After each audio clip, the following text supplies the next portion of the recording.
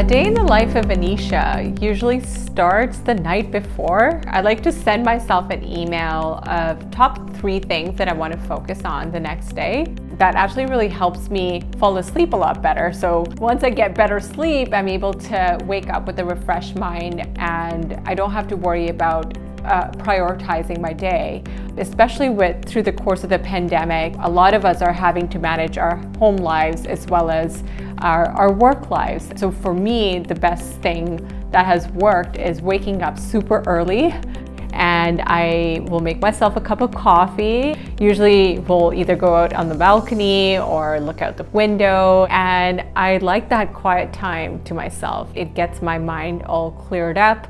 Um, I am a mom to a six-year-old, so quiet time comes very rarely, so that time is very precious. And I like to get in a workout if I can, and then I start my day early at around seven o'clock.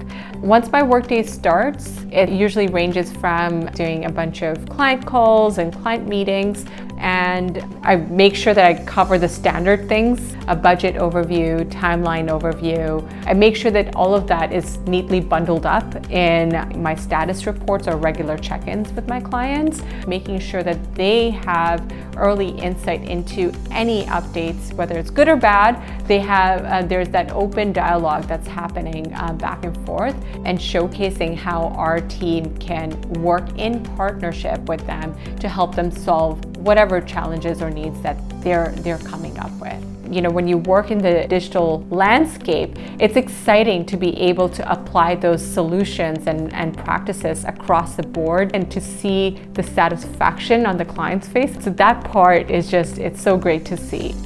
I think overall here at ImageX, what it's allowed me to do is be able to manage and balance my personal and work life really well. I have a lot of flexibility to still meet my mom duties and mom responsibilities you know, drop off my son at school and then still go back to work and attend to any client calls and team meetings that I may have during the day.